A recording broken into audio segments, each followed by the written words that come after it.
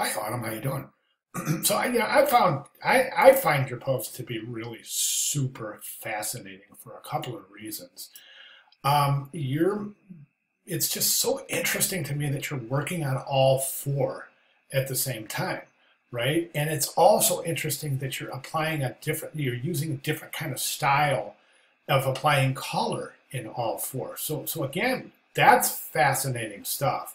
It's to me, I'm just I'm enthralled here with the the methodology because I think a lot of us would say, and myself included, I, I when I work on these, I work on, on them individually, and I kind of springboard one off the next, and, and you know what I'm saying. So so to me, this is just fascinating workflow. All right, so the these this is fantastic. I mean, you you just that's just really really good stuff. Um, I, I, this one is as well. Um, I'm really curious about the application of color here and how you're going. I mean, this to me, you, you just maybe don't even need any more kind of value in the face at all in terms of trying to create facial characteristics. We saw in the Marilyn example that there's these are flat. The only dimension you get in these at all is with the hair and that little shadow um, under the neck, and then some of the, the density of the, the black creates this eye makeup. But other than that, it's completely flat. I find that this is is just phenomenal. The hard lines on this, your facial structure, you got it, man. I mean, it almost that's just spot on. So is this. Looks like in this one you started to uh, work with some some tonal values in the hands and in the hair. Face looks great though. These are I'm not sure what's going on here. I, I, these are probably a work in progress, right?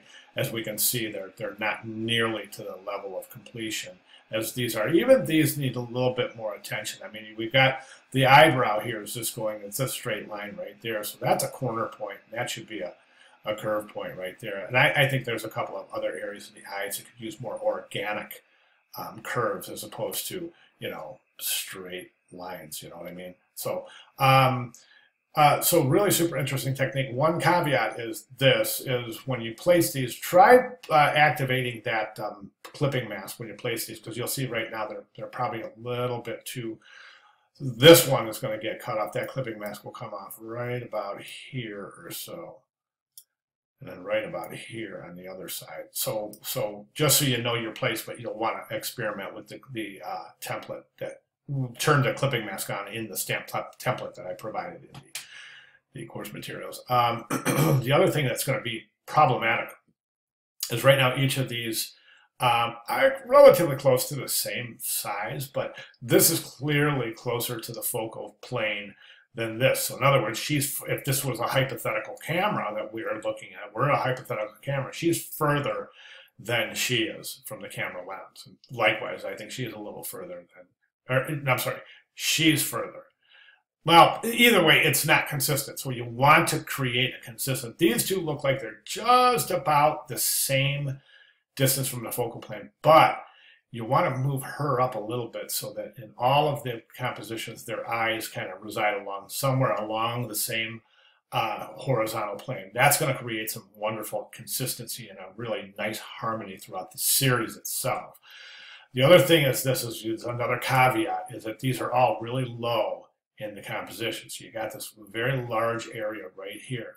One of the things that's going to end up happening here is we can already see it happening with just white, which doesn't have any visual weight. But we have, if you apply a color background, that just the mere color of the background is going to create an enormous amount of visual weight up here. It's pushing down on the illustrations, kind of forcing them down almost in a subservient kind of way, uh, as, as they, they seem subservient to the gravity the, the weight of the gravity of the negative space above them. So be mindful of that. I think that's really an important consideration. I can't get over how awesome that looks. Okay, so fantastic work. If you have any questions at all, please let me know. If you feel like reposting before Sunday, that's fantastic too. I'll be glad to provide um, critique as often as you'd like. All right, great job. Any questions, let me know. Thank you.